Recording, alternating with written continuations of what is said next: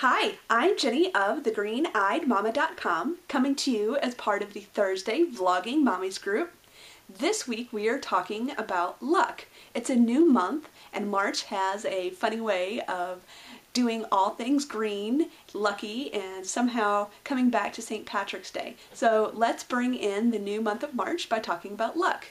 Is it something that you believe in? Do you believe that some people are lucky and seem to have more luck than others? Do you think that there is a lucky streak or that luck can run out? Let's talk about it. For me, I think that luck may or may not exist, I don't know, but I definitely believe that um, your actions speak louder than words. Um, good things happen to good people, so if you live right, things happen to um, fall into place. So do I believe in luck per se?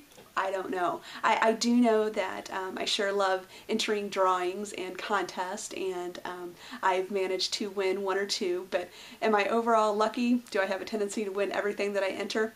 Of course not. Um, do I believe that luck can run out? I don't know. I, I, I think that, um, once again, good things happen to good people. I know that last year I entered a fantastic drawing with a brand and it led to some really good things. So in that regard, I felt pretty lucky when I picked that up.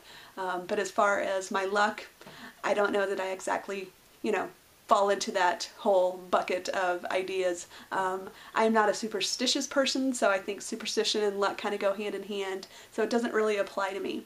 What about you? Do you feel that you're lucky?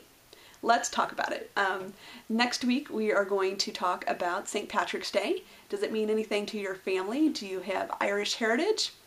Do you eat corned beef and cabbage? Um, do you have any Irish dancers in your family or does it mean anything to you? Do you go to parades? How do you or how do you not celebrate St. Patrick's Day?